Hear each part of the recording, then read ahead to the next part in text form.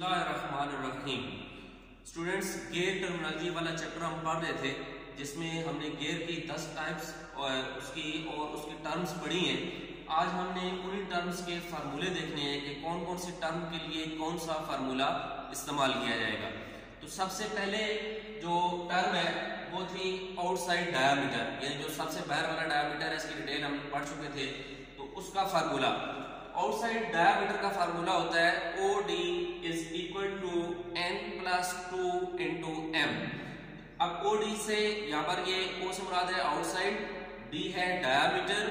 और एन है number of teeth और एम है मॉड्यूल, ये एक टर्म है। एन नंबर ऑफ़ टीथ यानी जो गिरारी हमने काटनी है, उसके ऊपर जितने टीथ हैं वो होंगे एन यानी नंबर ऑफ़ टीथ और एम जो है वो, ये एक सिस्टम है. बेसिकली गेयर काटने के लिए दो सिस्टम इस्तेमाल किए जाते हैं. एक होता है मॉड्यूल सिस्टम और एक होता है डीपी सिस्टम जो मॉड्यूल सिस्टम है, उसमें जो बेसिक यूनिट है, वो होता है मिलीमीटर और जो डीपी सिस्टम है, उसमें जो बेसिक यूनिट है, वो होता है इंचज़ तो हमने जो है वो मॉड्यूल सिस्टम पढ़ना है. जो डीपी सिस्टम होता है, वो मॉड्यूल सिस्टम का अपोजिट होता है. यानी उसमें उसका रेसिप्रोकल होता है. आज जो हम पढ़ रहे हैं वो है मॉड्यूल सिस्टम यानी जितने भी फार्मूलाज होंगे, वो सारे के सारे मॉड्यूल सिस्टम में, यानी मिलीमीटर सिस्टम में। तो अब इसमें आउटसाइड डायमीटर होगा n plus two into M यानी n नंबर ऑफ़ टी और m है मॉड्यूल इसके बाद नेक्स्ट टर्म है pitch diameter pitch diameter P D is equal to M into N यानी पी से है पिच और डी से है डायमीटर M उसी तरह मॉड्यूल और N होगा नंबर ऑफ़ डेथ इस तरह नेक्स्ट है एडेंडम तो एडेंडम जो है मॉड्यूल सिस्टम में जो एडेंडम है, वो मॉड्यूल के इक्वल होता है. यानी जो वैल्यू मॉड्यूल की होगी, वही वैल्यू एडेंडम की होगी. या जो वैल्यू एडेंडम की होगी, वही वैल्यू मॉड्यूल की होगी. इसके बाद नेक्स्ट है डिडेंडम तो डिडेंडम जो है, इसका फार्मूला होता है 1.157 इनटू मॉड्यूल यानी जो मॉड्यूल है, उसकी वैल्यू को जब मल्टीप्लाई किया जाएगा 1.157 से तो हमारे पास आएगा डिडेंडम इस तरह नेक्स्ट है तो थिकनेस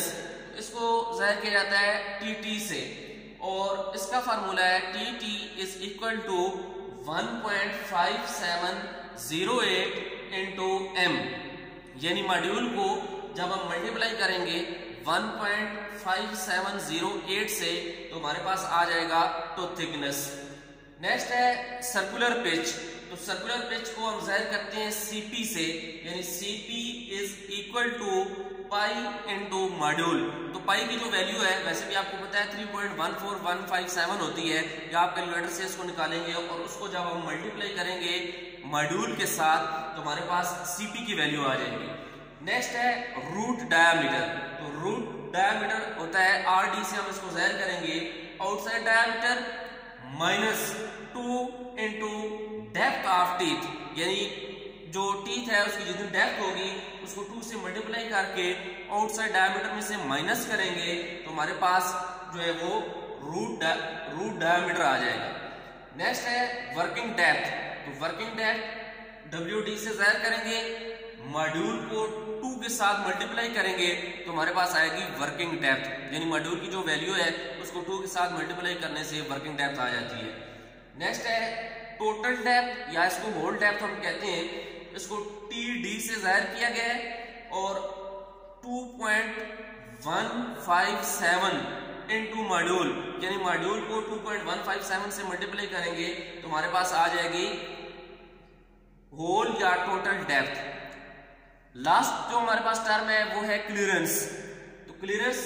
को सी एल से जहर किया जाता है। फॉर्मूला है zero point one five seven into module यानी मॉड्यूल को हम मल्टीप्लाई करेंगे zero point one five seven से हमारे पास आ जाएगी क्लियरेंस तो ये दस टर्म्स हैं, दस फार्मूलाज हैं जो हमने पढ़े हैं। पहला है outside diameter N plus two into module N number of T module M से मुराद है module pitch diameter m into N addendum होता है मॉड्यूल के इक्वल डिडेंडम होता है 1.157 इंटू मॉड्यूल तो थिकनेस है 1.5708 इंटू मॉड्यूल सर्कुलर पिच है pi into M root diameter होगा outside diameter minus two into depth of teeth इसके बाद है whole working depth is equal to two into module